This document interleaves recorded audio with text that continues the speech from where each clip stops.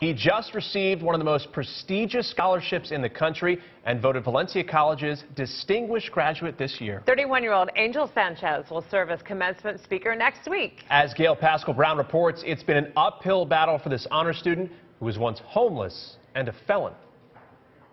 Ambitious, sentimental, and an odds breaker. That's Angel Sanchez, this year's commencement speaker and distinguished graduate at Valencia College. Part of his message will be the invisible student, the homeless student. They might be staying in the shelter like I was. And so to me, being a distinguished grad is an opportunity to, to make them visible, to speak for them, to make them proud, and to let them know that they're not alone. So you finished with your finals yet? 31-year-old Angel will graduate next month with a 4.0, two degrees, and not one B. Angel grew up in Miami's inner city with drugs, gangs, violence, and a mother battling drugs. He ran away from home at age 13 how ironic, right? I wrote my dad a note when I'm running away from home. like, who's... Angel landed in prison when he was 16 for charges including attempted murder. Then there was a turning point in prison.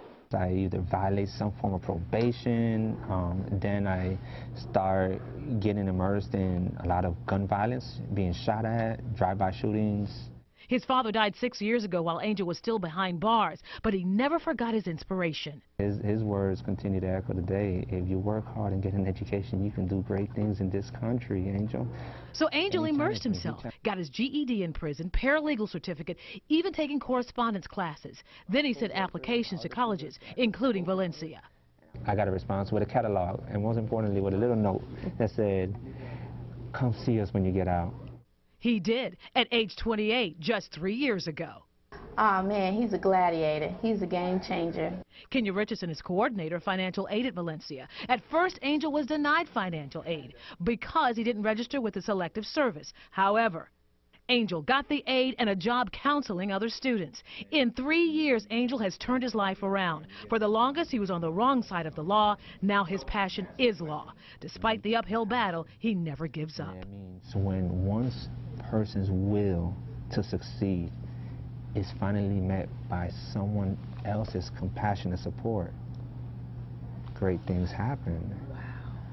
Valencia's graduation is Saturday, May 3rd at the Silver Spurs Arena in Kissimmee. I'm Gail Paschall Brown for WESH 2 News. Angel Sanchez has applied to UCF, Yale, as well as Columbia and Rollins. He wants to become an attorney, be it civil rights or immigration. He says just as long as he's helping others.